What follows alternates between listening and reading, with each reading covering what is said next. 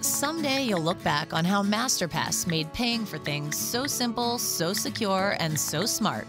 And you'll remember that this is where it all started. Ready? Let's head over to the Google Play Store. Don't get distracted by all the new movie and music releases. Just search Masterpass.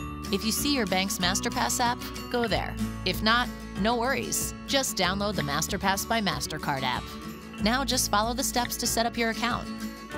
Kind of like creating an account at a store online, but you only do it once.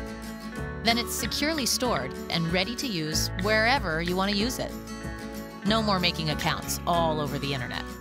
At this point, we'll send you a verification code. Input it, and we're almost done. Final step picture time. That's so weird that your name is Jane Doe, by the way. And that's it. Now you have a Masterpass digital wallet. Welcome to Masterpass, Jane, the simple, secure way to make paying for things online, on your phone, and out in the real world a whole lot easier.